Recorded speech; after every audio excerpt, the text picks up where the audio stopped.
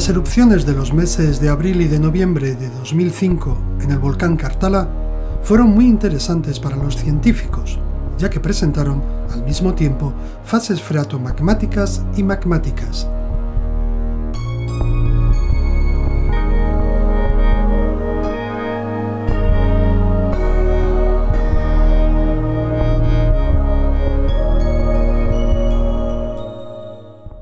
Le cratère sommital du Kartala est certainement euh, l'un des plus beaux euh, de tous les édifices volcaniques que, l'on peut rencontrer. C'est un cratère extraordinaire, un très grand cratère. Ce cratère est au centre d'une caldeira plus vaste, hein, qui fait 3 km sur 4 à peu près, qui a au moins 4000 ans, euh, qui, a, dû se former en plusieurs épisodes. Et donc au centre de cette caldeira, donc vaste structure d'effondrement, se trouve le cratère principal, Ale, qui est un cratère qui fait un peu plus d'un kilomètre de diamètre euh, pour 300 à 350 mètres de profondeur selon les périodes de son histoire. 17 de de 2005. Rojas nubes coronan el Cartala. Las riberas se despiertan. Aparecen torrentes de barro gris.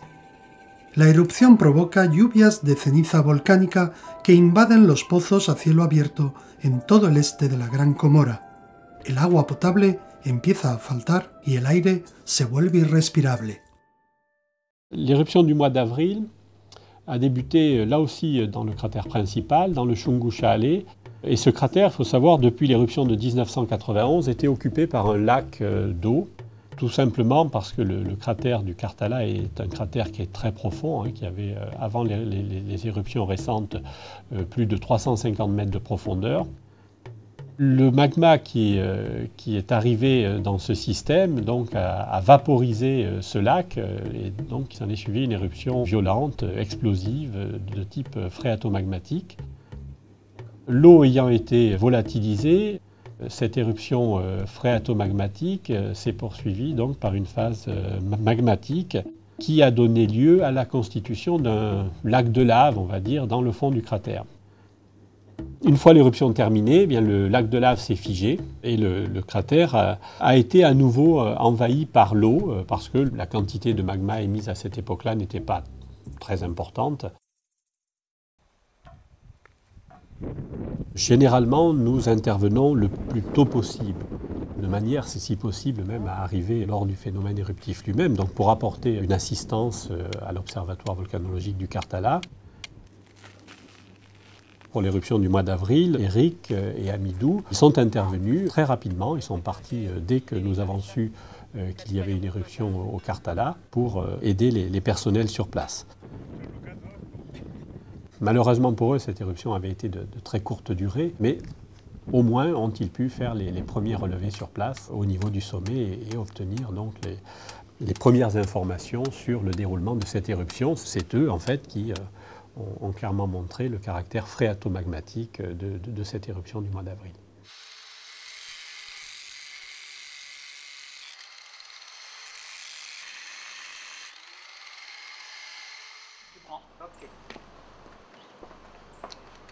Sachant qu'on avait pour euh, mission de ramener des carottes de, des cendres donc déposées par l'éruption du mois d'avril, mais il a fallu trouver des solutions technologique. Cette solution a été constituée par des tubes en acier galvanisé qui ont été euh, préalablement euh, découpés sur une face.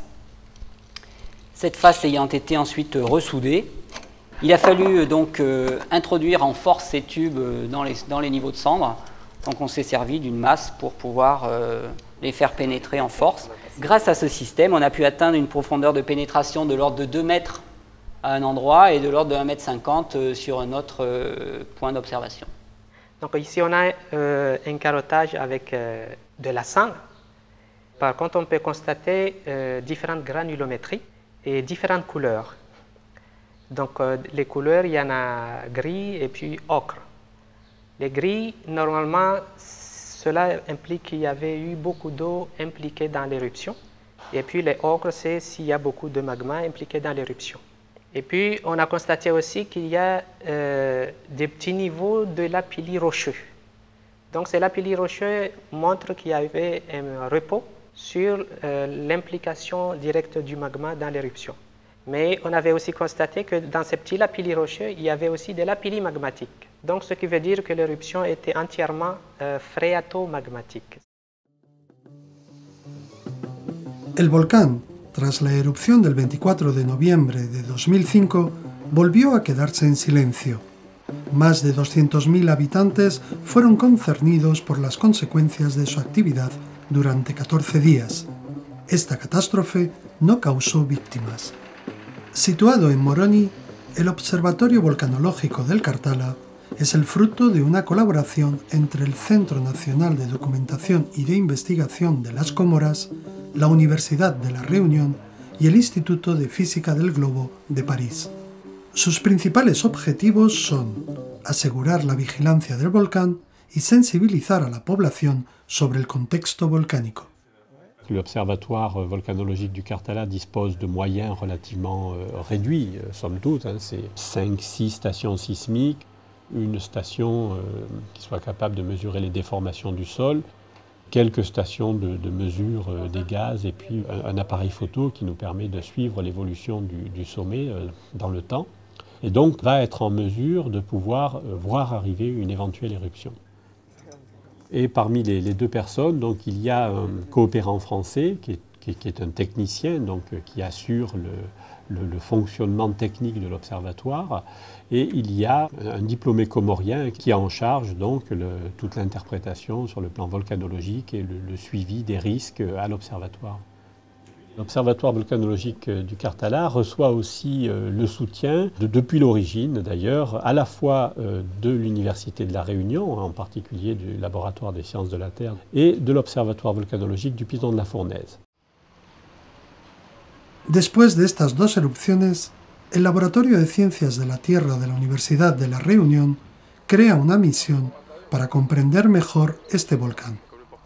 En un primer momento, el equipo constituido por dos científicos, Nicolas Villeneuve y Antoni Finizola, va a tomar medidas sobre el terreno en polarización espontánea. Más tarde, Nicolás tomará en la caldera de la cima los primeros datos de las caídas de cenizas proyectadas en gran cantidad con los fragmentos de lava y de roca. en France, une absence et une polémique qui n'en finit pas entre Paris et Alger, le sujet de discorde, la loi... Una misión como esta exige una importante logística. El campamento, situado a más de 2.300 metros de altitud, no permite un abastecimiento cotidiano. En consecuencia, hay que prever la alimentación, la bebida, 4 litros de agua por día y por persona, las tiendas de campaña y el material para toda la estancia. Para poder subir todo este material, fue movilizada una veintena de militares comorianos. Nicolás y Anthony fueron acompañados por dos civiles reunioneses que vinieron para ayudarles en las medidas en polarización espontánea.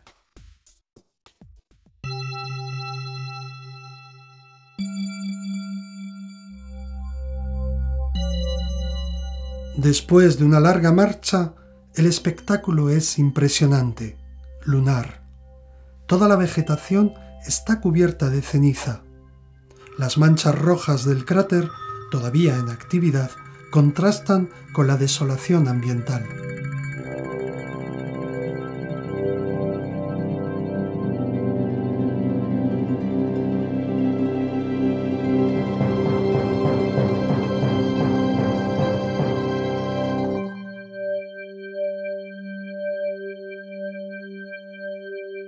Al día siguiente, por la mañana, la bruma desaparece poco a poco, dejando pasar un primer rayo de sol.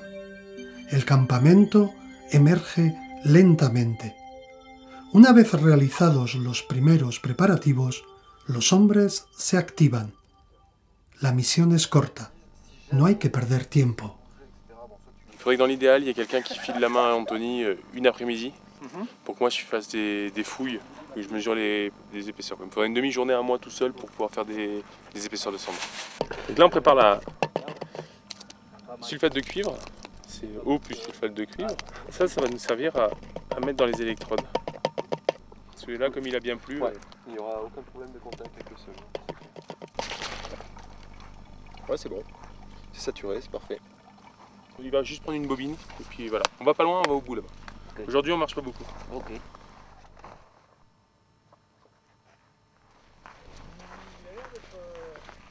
El equipo compuesto por François, Nicolas, Anthony y un militar parte hacia la estación sísmica para repararla y hacerla funcionar.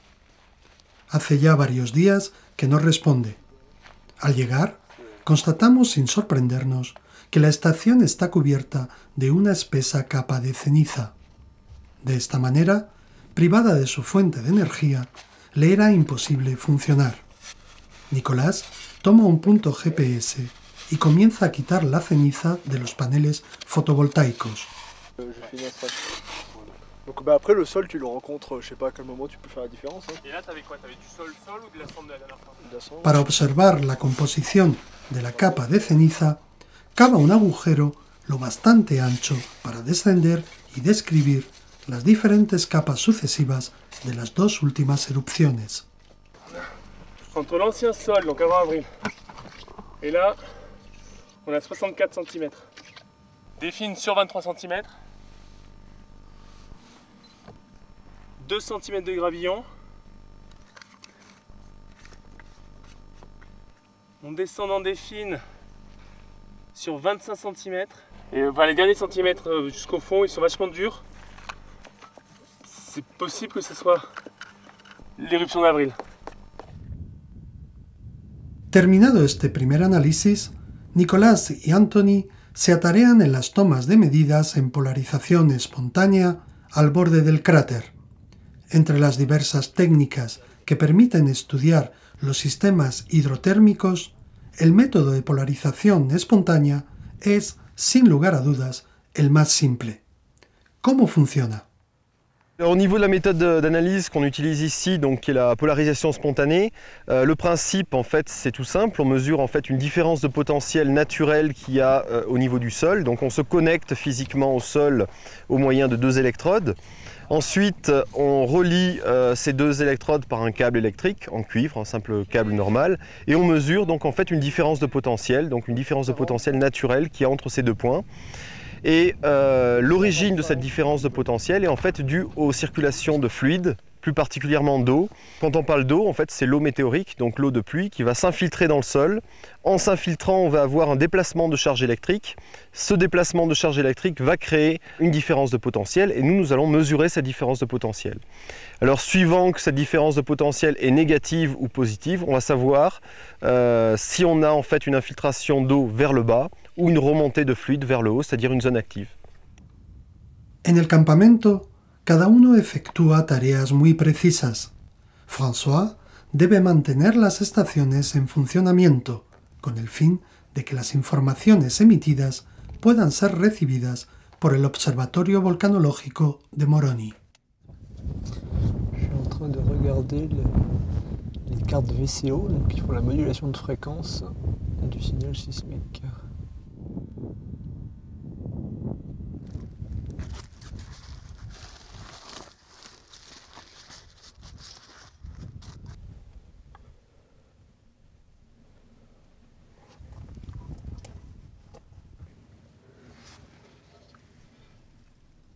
Émet de toute façon en continu un signal qui contient pas forcément des informations sismiques, hein, mais au pire c'est un signal plat monofréquentiel. Et voilà. Quand on reçoit, c'est bon, ça veut dire que ça émet.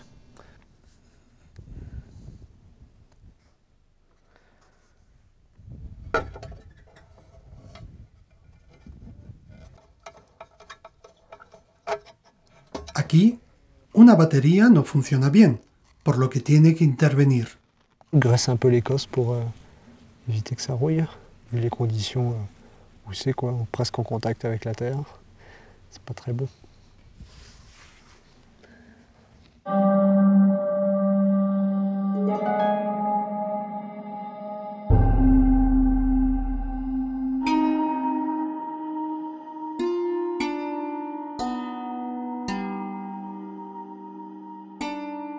Una ruda jornada se termina. La bruma se levanta de nuevo. La inquietud reina en el campamento. Seguimos sin noticias de Nicolás. Una noche oscura, sin luna, envuelve el campamento y todo el mundo sabe lo difícil que es orientarse en un entorno tan hostil.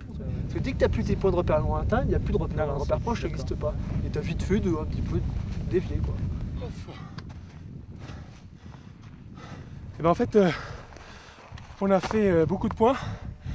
Et je crois qu'on souffle un peu. Et en fait, il fallait récupérer les affaires. J'avais une lampe, un GPS, tout. Mais le brouillard s'est levé. Et puis après, euh, quand il s'est levé, on s'affole un peu quoi. Heureusement que il y avait les radios. Et on m'a expliqué par où passer. Moi, je suis pas trop le manipuler de nuit. Moi non, quoi. On se perd très vite, hein, même deux jours. Hein, Quand tu n'as plus, de- t'as plus de repères euh, loin et comme proche, Bon. tout à tout se ressemble. Non mais c'est bien. On a vu ce que c'était, on fera plus. Después de una jornada agotadora y llena de emociones, el equipo se reconforta al lado de la hoguera. A más de 2.200 metros de altitud, la temperatura se acerca a los 5 grados centígrados. Es el momento de analizar los eventos y las observaciones de este primer día.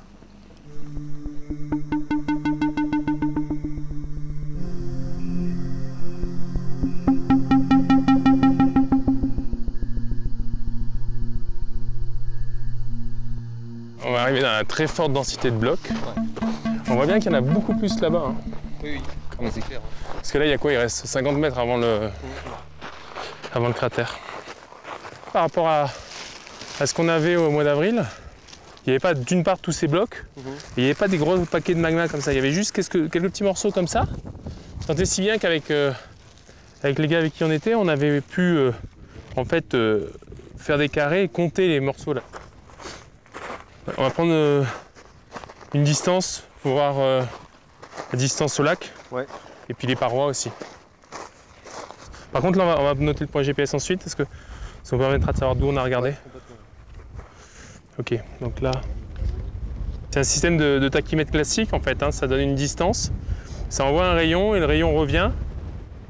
On a tous ces éboulis qui ont lieu en ce moment qui mettent un panache devant nous et du coup ben, on a vraiment du mal à faire le point. Donc on fait, on fait le point sur quelque chose de très près mais de très loin c'est très, très difficile.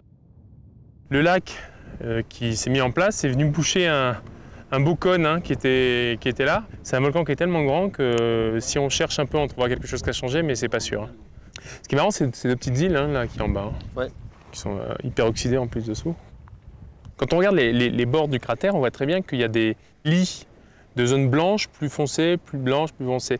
Et ces zones blanches, en fait, ce sont les cœurs découlés qu'on refroidit tout doucement. Ils sont très compacts hein, parce qu'elles ont eu un temps de refroidissement très long. Et c'est ces fameux cœurs de qu'on retrouve là. Hein, en fait, c'est très simple. hein. On n'a qu'à regarder au sol, on voit un, caillou blanc. Ce caillou blanc il est de la même origine que le caillou blanc qui est en fait en face de nous. Donc c'est là qu'on comprend que lors de l'événement, la période euh, paroxysmale de, de l'événement, ben, il y a eu un, du matériel qui, était, qui construisait, hein, qui faisait vraiment la, base de ce, volcan, qui est parti euh, éjecté par la, puissance de l'éruption. L'éruption a eu euh, énormément de dépôts de, de sang dans un premier temps. On peut penser, hein, puisqu'il y a eu une explosion au début avec euh, le gros panache que Moroni a vu, plus certainement des blocs à ce moment-là.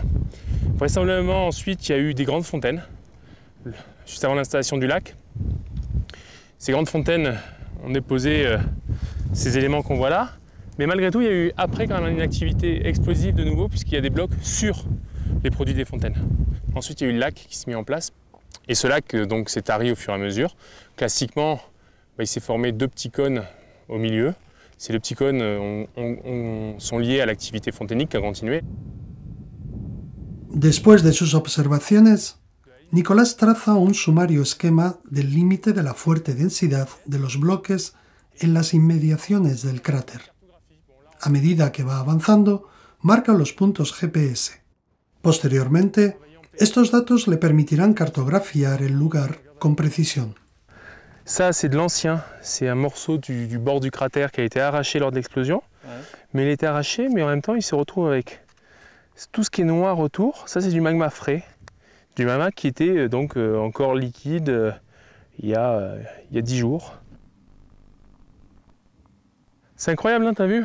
Là, on avait, on voyait directement les, les blocs. Alors que là, déjà, on voit plus les blocs, hein, t'as vu? Regarde, autour de nous, il n'y a plus de blocs blancs.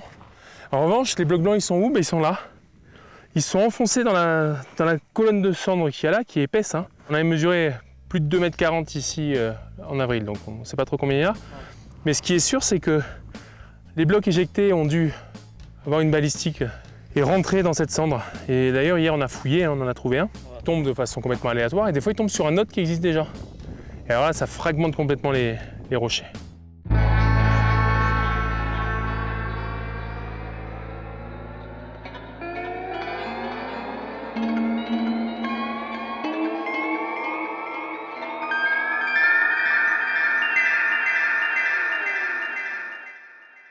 Lejos del Cartala, en el Laboratorio de Ciencias de la Tierra de la Universidad de La Reunión, Nicolás expone los primeros resultados sacados de los datos y observaciones traídos de las últimas misiones. Después de muchos meses de investigación, Nicolás presenta una cartografía precisa de los bloques proyectados. on s'aperçoit que spatialement, il y a une zone préférentielle de retombée de blocs, en tout cas de blocs visibles. Les blocs sont principalement sur la partie nord euh, de, l'édifice, vraiment à proximité euh, du Shahale. Ce qui signifie en fait que euh, soit l'énergie dépensée lors de l'explosion a été relativement faible et a balancé ces blocs pas trop loin, soit que une seconde vague d'explosion a entraîné les dépôts de cendres sur les premiers blocs déposés. Magali a été faire de la stratigraphie, c'est à savoir mesurer les épaisseurs de cendres, mais également échantillonner pour regarder ce qu'il y avait dans ces cendres. Le but ultime de tout ça était de regarder si on trouvait dans ces cendres du magma pour savoir si les différentes étapes de l'éruption étaient systématiquement phréatiques, c'est-à-dire sans magma, ou phratomagmatiques, à savoir avec un apport de magma juvénile. Les regarder sur microscope, ça nous permet de mieux connaître encore l'éruption, de savoir par exemple si c'est euh, très vacuolaire, s'il y a des petites bulles d'air dedans de savoir euh, si c'est vitrifié. Ça, renseigne sur euh, la, rapidité de refroidissement. C'est seulement intéressant de montrer que sur une bombe, il y a un, gradient de refroidissement qui part de la bordure vers le cœur et que les olivines squelettiques se trouvent vraiment vers la bordure, ce qui montre un, refroidissement rapide, alors qu'au fur et à mesure qu'on se rapproche du cœur, les cristaux ont eu beaucoup plus de temps pour refroidir et ont pu euh, être automorphes. Nous, on a échantillonné. Pour mieux connaître l'éruption, on a regardé vraiment tous les dépôts, les cendres, ce qu'elles contenaient. Donc les fragments magmatiques, ce que je regardais sous microscope. Les fragments magmatiques ont montré que l'éruption de novembre 2005 a été phréatomagmatique. Donc il y avait de l'eau, mais il y avait aussi du magma. Por su parte, Anthony comenta los resultados logrados a partir de las medidas obtenidas en polarización espontánea. Ya puede sacar conclusiones. Ce qui est particulièrement intéressant sur cette carte, où on visualise très bien avec les zones euh, rouges, donc les zones de préférentielles de remontée de ces fluides, les zones bleues et vertes, euh, les zones moins actives, on dira, on visualise tout de suite que la partie nord de euh, cette caldeira est une zone particulièrement propice aux remontées de fluides, contrairement aux deux lobes sud qui sont nettement moins actifs les parois de cette caldeira euh, limitent vraiment l'extension de ces fluides latéralement, c'est-à-dire que dès qu'on passe de la caldeira qui est particulièrement rouge à la bordure de cette caldeira, ben, on passe en fait d'une couleur rouge très vive à une couleur vert ou bleu, c'est-à-dire nettement moins active. Donc on a la circulation préférentielle des fluides qui remonte presque uniquement dans ce euh, lobe nord de la caldeira et est limitée par ces parois. Alors, ce qui est particulièrement intéressant, c'est de comparer en fait un travail qui a été effectué il y a 10 ans, en 95, avec le travail euh, actuel, donc effectué durant la crise de 2005. Alors, si on compare les deux documents euh, cartographiques, on va s'apercevoir en fait que les anomalies globalement sont situées au même endroit, c'est-à-dire qu'on a des remontées préférentielles de fluide avec ces couleurs rouges centrées dans le parti du lobe nord de la caldeira, la seule chose qui a réellement changé entre 85 et 2005, c'est l'amplitude de ces anomalies. On voit que les anomalies qui faisaient environ 1000 millivolts en 95 ont été divisées par deux et n'en font à peu près que 500 actuellement. C'est dû au fait qu'en 95, nous étions dans une période particulièrement calme. La dernière éruption du Kartala datait de 91. Donc ces mesures ont été effectuées dans une période où l'eau circulait tranquillement, alors que là, nous sommes passés en 2005 avec des mesures qui ont été effectuées durant la crise éruptive, c'est-à-dire que le début de cette crise a fait vaporiser littéralement toute cette eau au sein du cratère et a diminué considérablement les circulations de fluides. Donc on a, euh, avec ce travail en polarisation spontanée, les anomalies qui ont été diminuées de moitié. El Kartala es un gran volcán escudo como los de la Reunión y de Hawái. Estos edificios, que se encuentran entre los más grandes del mundo, nos enseñan el funcionamiento interno de la Tierra. Uno de los intereses mayores de los científicos por el Cartala reside en su sistema hidrotérmico particularmente activo. La cohabitación entre el magma y el agua en el seno de este volcán está en el centro de los estudios realizados por el Laboratorio de Ciencias de la Tierra, ya que el Cartala no nos ha relevado aún todos sus secretos.